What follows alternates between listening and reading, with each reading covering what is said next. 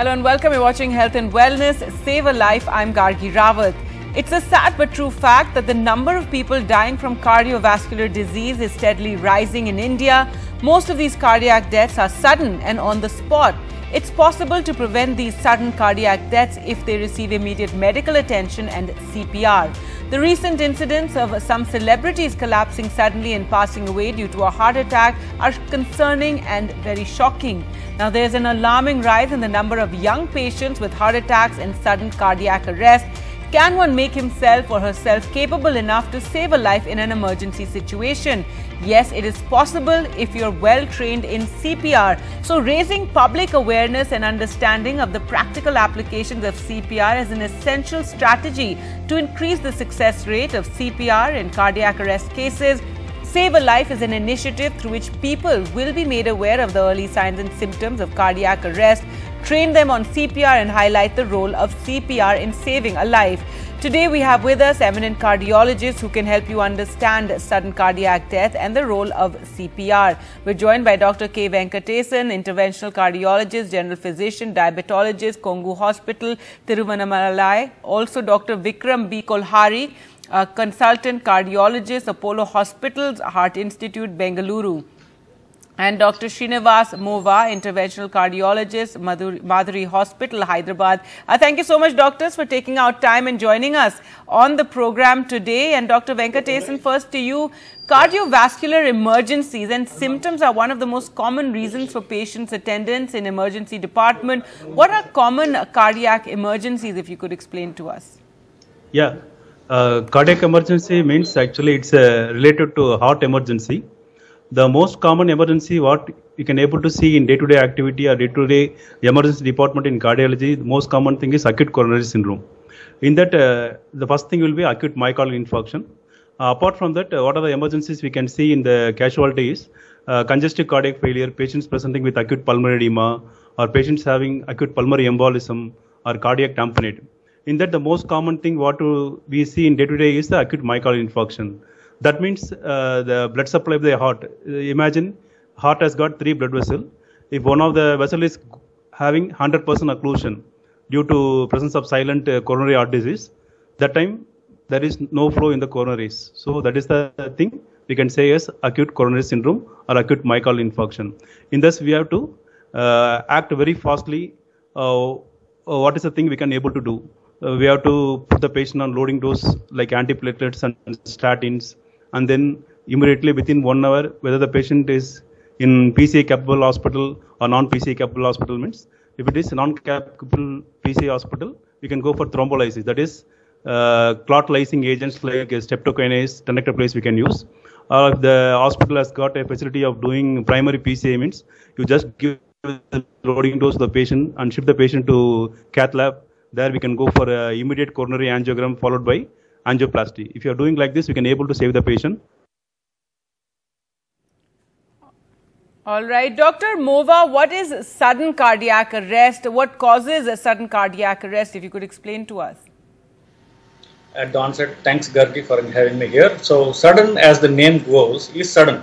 So, if the heart stops within one hour of uh, the presenting symptoms, whatever the patient experiences, like giddiness or whatever, so it is called a sudden cardiac death. So, typically it is if it is uh, caused by fast beating of the heart. You know, the lower chambers of the heart are called ventricles. If uh, typically they beat 60 to 70 per minute, but if they go on to beat like 200 times, 220 times, then heart just stops. It cannot function basically because of the very fast heart rate. In those circumstances, the heart stops uh, functioning. There is cut off to blood supply to the brain, so the person collapses. That's called as um, sudden cardiac. And if it goes on to death, it is called sudden cardiac death. As I said, its commonest cause is because of VF, when ventricular fibrillation. It is called sudden fast beating of the lower chambers. 80% of this is again because of a heart attack. So we can uh, generalize uh, by saying that heart attack causes the sudden cardiac death in most cases. Right. Dr. Kolhari, does the sudden cardiac arrest mostly affect people with a history of heart problems? Yes, sudden cardiac arrest is basically when the heart stops pumping the blood. Uh, it is almost it's generally a pre-terminal event. Uh, most common cause of sudden cardiac arrest is heart attack. So underlying coronary artery disease, blockage in the blood vessels that supply blood to the heart is one of the most common causes for sudden cardiac arrest. Um, in younger individuals, the fatal arrhythmias like ventricular fibrillations are, uh, are also equally important causes of sudden cardiac arrest. And, and uh, sometimes uh, underlying uh, congenital heart diseases also could be a predisposing factor for uh, having a sudden cardiac arrest. But uh, it is more common in patients who have pre-existing cardiac diseases. Right, Dr. Venkatesan, at a time when a good physique is uh, the new cool young adults are hitting the gym more often than ever, but uh, why are youngsters and gym goers suffering from sudden cardiac death? We have, have, have had so many instances of late. Yeah, this is the thing. It has been seen recently. Most of the young patients uh, having a good physique, going for sudden cardiac arrest and losing his life. What we, the reason behind is uh, these young patients might be having a silent CAD without knowing that uh, they will be going for a isometric exercise in the gym like weightlifting. Uh, suppose patient has got CAD with around uh, 50 to 60 percent block in the coronaries. What will happen if they go for sternus exercise means this block in the coronary will go for rupture. That is known as plaque rupture. Uh, that is the most common thing for myocardial infarction. That is one reason we can say for uh, this uh, sudden cardiac arrest in young individuals. Apart from that, what are the other things we can able to encounter for this sudden cardiac arrest in young individuals is most common thing is the hypertrophic cardiomyopathy. It's a variant of uh, disease in the cardiac muscle and arrhythmogenic right ventricular dysplasia. And uh, if myocardium is normal, coronaries are normal, again cardiac arrest means you have to think of some channelopathies like uh, long QT syndrome, short QT syndrome, because these patients, uh, this kind of condition will go for ventricular arrhythmia and ventricular fibrillation. Within one minute, if you intervene, if you don't intervene, patient will lose his life. So these are the various things we can able to enter for this uh, sudden cardiac arrest, especially in the young individuals, because this is most commonly seen in sports persons, especially football players, basketball players. They'll be very much active, but suddenly what they will happen in the ground, they will go for fainting, and if you won't see, they will lose a life because what will happen in that condition, patient will go for ventricular fibrillation. So immediately we have to use the AED, and then we have to survive the patient. If you won't do it, naturally it's the loss of life for the patient. So reasons is these are the common things mainly channelopathies, cardiomyopathies in the form of hypertrophic cardiomyopathy, arrhythmogenic right ventricular dysplasia, and silent CADs. So these are the reasons we can say for this young heart attack in young patients around uh, less than 40 years of age. Also, Dr. Kolhari, if you could tell us what are some of the emergency actions for helping someone experiencing a heart attack and cardiac arrest? So, as you asked me because of the science, so science will be or uh, sudden cardiac arrest. Uh, the most important thing is first call for emergency medical help. Uh, make the patient more comfortable, either in a sitting or a lying down position. And if the patient is not allergic to aspirin, uh, aspirin 300 mg tablets can be given to the patient in case of symptoms which are suggestive of a heart attack. However, if patient is unresponsive and there is sudden cardiac arrest, patient is not breathing well, then CPR is the most important thing. We should start with chest compressions uh, in fact, uh, every individual should attend uh, CPR classes to know the basics of cardiopulmonary resuscitation. Uh, chest compressions should be started at the earliest. And in places like, say, uh, airport or where automated defibrillators are available, we should get the machine uh, and connect it to the patient. It generally gives us, it prompts us how to use it. If, if there is a rhythm which can be shocked and patient can be revived, the automated defibrillator by itself does the work. So it is crucial that at public places and airports, if uh, automated uh, defibrillators are there, they should be used. Uh, and and most important thing is call for medical emergency help immediately and shift the patient to the nearest center where uh, cardiac emergencies can be managed.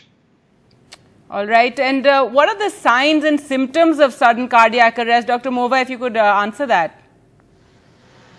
Well, sign, symptoms will be known if the person person comes back from dead. So usually we tell once it is resuscitated, then the commonest symptoms would be what is called as fainting. So person loses a lot, he loses his consciousness and he falls down.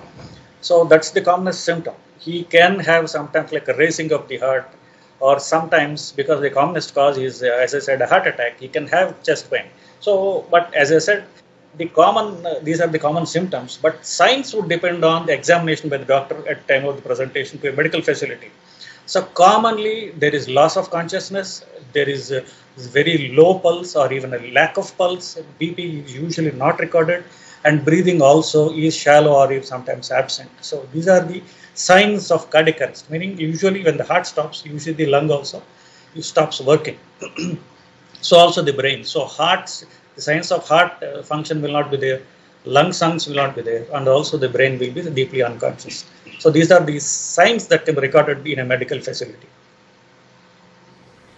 All right. Uh, with that, time for us to slip into a short break, but don't go anywhere. We have many more questions to ask the doctors. Stay with us.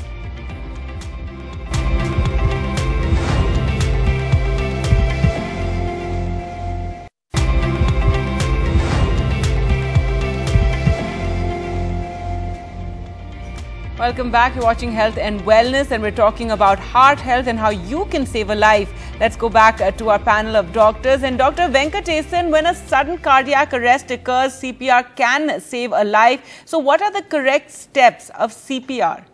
Yeah. Uh, see, CPR is a cardiopulmonary resuscitation.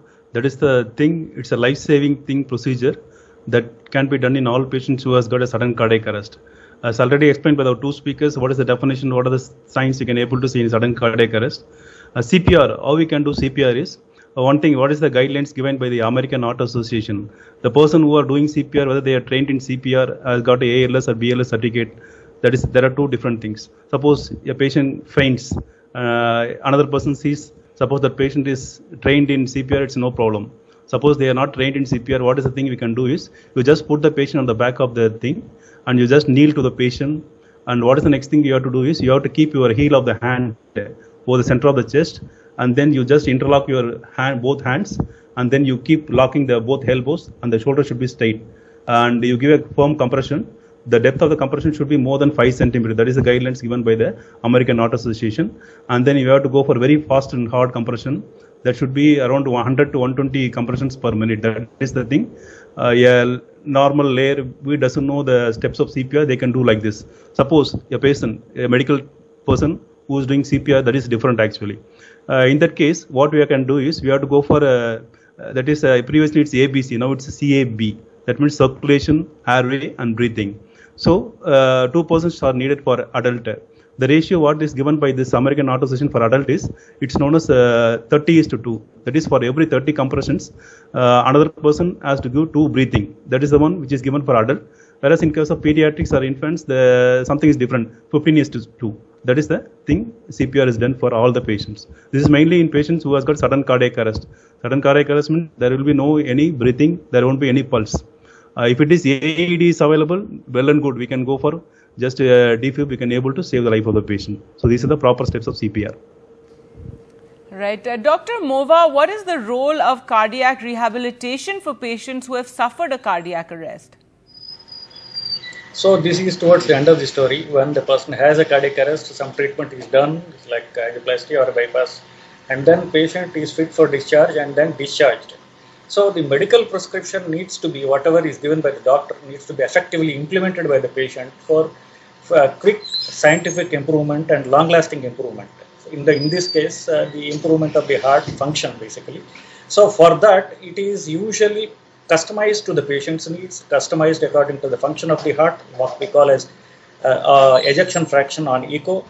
And so it is customized to patient patient and the rehabilitation is mostly regarding the exercise program and educating the patient of uh, how uh, he should go about his life, how uh, quickly he should start his day daily activities like driving a vehicle, going out, and all these things. So as I said, this usually it starts the day the patient is discharged according to the prescription given by the doctor at time of discharge. This goes on about for three months. And uh, most of the patients who are admitted in cardiac ICUs, whether they have a heart attack, whether they are recovered from heart failure, they underwent angioplasty, stent, or even the bypass or valve replacement. So most of the heart conditions, when they are admitted in the hospital because of an emergency, when they go out, the rehabilitation aids in uh, bringing them back to life quickly. So by helping them the exercise needs, educating them regarding the heart related problems as well as the risk factors for heart attacks like diabetes management, BP and all that. So it's uh, aids in the patient's recovery as quickly as possible. So this is what is cardiac rehabilitation. All right, and as you doctors say, prevention is better than cure. So, Dr. Kolhari, what lifestyle should one uh, follow to prevent uh, sudden cardiac arrest? So, the prevention of sudden cardiac arrest mainly uh, depends on risk factor modification.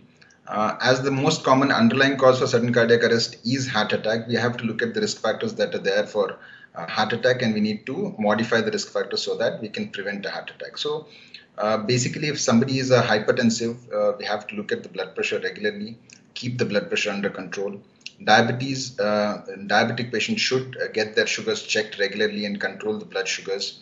Then, uh, patients who have dyslipidemia, that is high cholesterol levels, need to take proper medications as advised by the doctor to keep the cholesterol under control. Maintain a healthy body weight and follow a healthy diet. somebody who's obese needs to lose weight um, physical exercise is extremely important at least moderate intensity exercise on most of the days in the sense at least five days a week is uh, very crucial in, in, in prevention in prevention of a heart attack and diet is also uh, very important um, we should avoid saturated fats reduce carbohydrates in our diet uh, reduce the total fat content in our diet and eat uh, more and more fruits and vegetables which are rich source of uh, antioxidants which also help in, uh, in preventing um, heart attacks. Another most important preventive aspect is quitting smoking. Uh, if you look at uh, smokers, if, if somebody quits smoking, the risk of having heart attack for them becomes equivalent to that of a non-smoker by one year. So uh, smoking cessation is the most important form of prevention that one can uh, one can have so that we can prevent the uh, incidence of um, occurrence of heart attack or sudden cardiac arrest. At the same time, uh, it's most essential that we maintain a healthy diet and healthy uh, lifestyle, uh, daily exercise regime that is very important. And at the same time, manage mental stress. Stress management also goes a long way in preventing a heart attack. So, uh, stress relaxation techniques, yoga, meditation, all of them uh, help in reducing the risk factors for uh, heart attack and prevents the occurrence of heart attack in the longer run. All right. Uh, so there we spoke about, you know, diet and various steps we can take. Dr. Venkatesan, is there a role between dietary cholesterol and heart disease? If you could explain that to us. Yeah, uh, this question is a funny thing actually. Uh, to be honest, uh, to say about this answer, actually there won't be any much relation between the diet cholesterol and the body blood cholesterol. Uh, but uh, most of the people are very much mindful in taking cholesterol um, because there are some persons, there are some genes which are responsible for the uh, dyslipidemias in the patient's body. Uh, that is known as hyperresponders. Uh, normally, body has got a system. It has got auto regulation because uh, in liver, once the patient takes more amount of cholesterol, it naturally decreases the cholesterol production in the body. Uh, if you see the cholesterol, there is a good cholesterol and bad cholesterol. A good cholesterol, what we say is HDL, that is high density cholesterol. Bad cholesterol is a low density cholesterol. Uh, once the patient takes more amount of saturated fats, normally body has got a property of decreasing the production. That means if the cholesterol is there, it will produce both bad and good cholesterol very equal amount. So the effect is neutralized. But suddenly there are some conditions like familial hyperlipidemias, hypertriglyceridemia. There are some conditions where naturally there will be more, production of more LDL, uh, and the size of LDL also more important actually.